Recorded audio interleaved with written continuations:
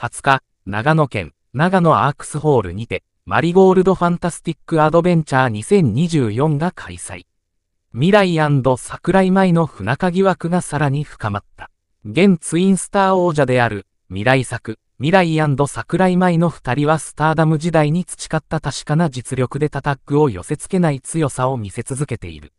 その牙城を崩れさんと立ち上がったのは、若い力でマリーゴールドを変えようとする、セレーネ・フローラ、ビクトリア・ユズキ田中絆の19歳タッグ。10月24日の後楽園ホール大会での王座挑戦が決まっている。ゆつきはスターダムで2023年11月にデビューし、約2ヶ月でその年の新人王を獲得するなどポテンシャルの高さを見せた期待の新人。キャリア半年に満たない時期にマリーゴールド旗揚げに合流を決断するなど胆力も高く、現在はスーパーフライ級王座、軽量級王座をめぐる最前線で戦っている。絆は田中稔府川唯未という名プロレスラーの両親から生まれたサラブレッド。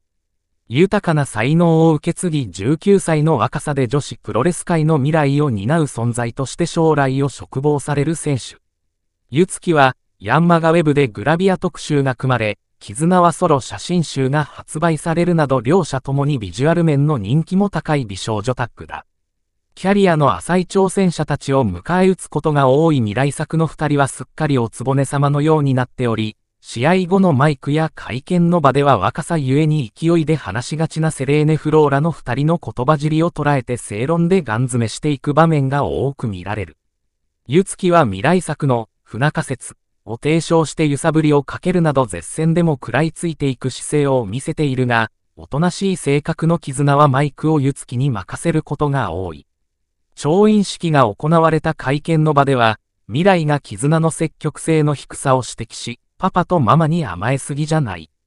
と両親ネタを絡めて挑発した。しかし、これは絆の激鱗。パパママがすごいとか、そんなのデビューした時から、デビューする前からたくさん言われてきましたけど、私はそんなのに負けないし。今回のタイトルマッチ、必ずゆつきと二人で勝って、私たちがマリーゴールドの新しい風景を作ります。未来作の時代はもう終わりです。と絶叫しながら椅子を蹴飛ばして会見を途中退席するという事件が起きていた。この日は、後楽園決戦を控えた最後の前哨戦として未来桜井舞マイラグレース VS ビクトリア・ユズキ田中絆セトレアの6人タッグマッチが実施。